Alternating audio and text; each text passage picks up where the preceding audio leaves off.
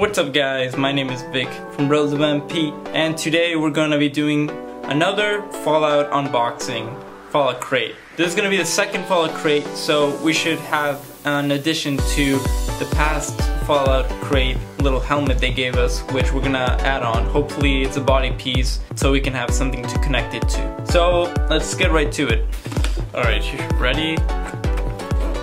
Nice. This is a Fallout 4 character I believe. Uh, he is a synth. He is. It actually says right here. For one of the first characters we get, he's Nick Valentine. So this guy's a detective in the video game. He is a synth. He's pretty much a, a robot, uh, an advanced robot that helps you out in the game in a certain point. Whoops.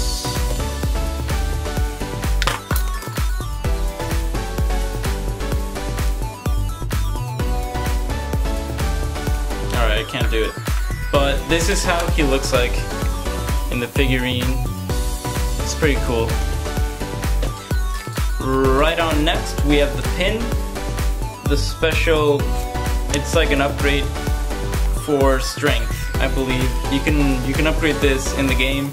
It makes you, I can't remember very well, but I'm pretty sure it makes you more, um, gives you more health if I'm if I'm not mistaken. It's a very cool pin, very very nice. It's it's gold, as you can see here. Very sweet. Up next we have, I have no idea what this thing is. As you can see, I can open this up, looks like, ooh nice, are these glasses? Are, are these sunglasses?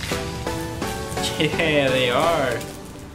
Oh, awesome. I love having some very nice shades.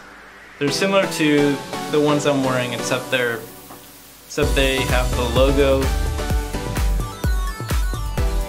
Looks very nice. They're, they're it's not too dark. It's great, just the way I like them. It's too, if it's too dark, then you can't really see anything. These are just perfect. might start wearing these outside. Who knows? A winner for me. And it comes with a little case as well very cool looking guy there. Here we have the add-on. This is gonna be the add-on for uh, for the. It says build a figure, and it says it's a power armor. So let's just open this up, and we're gonna add it on to the power armor helmet we had. It's gonna look great. So here we have the power armor beautiful. As you can see, it doesn't have the arms, but it's definitely the base, the chest piece of the power armor. It's coming out great. I love the detail on it. The chest is, is great. I don't know how you're gonna do it if you start your um, your subscription now. You'll just get the chest piece, I guess. I'm, I'm a little confused on that part. Up next, we have uh, what is this? I'm says you're special here. It's got it's got all the little as you can see that that's the pin we got. We're gonna see what's what this is. Let me open this up. So what is this? Oh, it's a, it's a bunch of little books. Wow, this is great. So they're pretty much mini journals. It's got perception here. It's got endurance, doing jump ropes. It's got luck, there's a black cat down here. It's not gonna cross that guy. It's got intelligence, reading here. It's got strength, as we saw our pin has. It's got charisma. Yeah, look at that guy. And it's got agility. Very nice. And these are all just empty. These are little journals you have. And on the back it's got details, so in-game details. So the agility, just the perks it gives you.